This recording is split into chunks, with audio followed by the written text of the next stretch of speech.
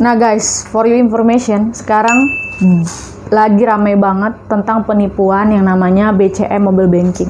Nah kalau bisa kalian lihat contohnya ada tampilan di atas, itu ada tampilan kalian harus klik yang namanya delete atau hapus video.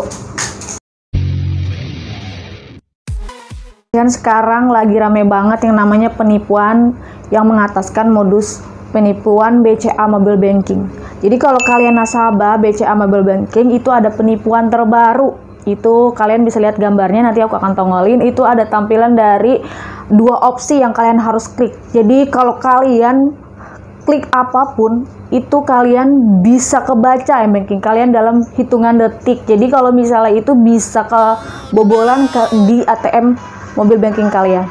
Nah, caranya itu dengan dua opsi, yaitu kalian harus logout aplikasi itu.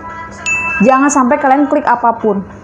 Kalian logout dan kalian hapus aplikasi BCA Mobile Banking karena itu adalah notifikasi virus yang mengataskan aplikasi. Jadi, itu bentuk penipuan terbaru itu mengatasnamakan virus. Kalian bisa lihat di situ ada virus uh, aplikasi Art atau aku laku. Jadi kalau kalian klik di antara satu dua opsi itu uh, saldo di ATM bank, banking kalian itu bisa terkuras ya. Jadi itu bener-bener lagi rame banget di sosial media.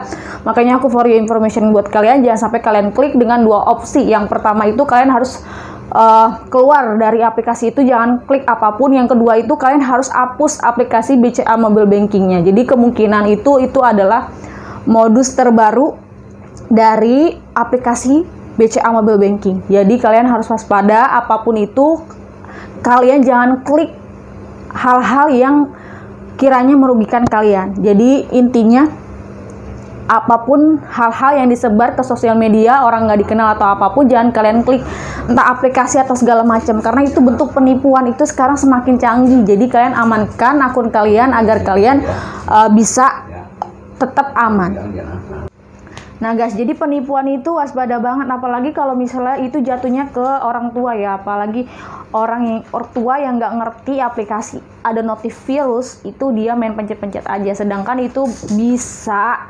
mengarah ke m banking BCA kalian gitu. Jadi kalau misalnya itu kalian harus sebar informasi ini untuk keamanan BCA mobile banking kalian.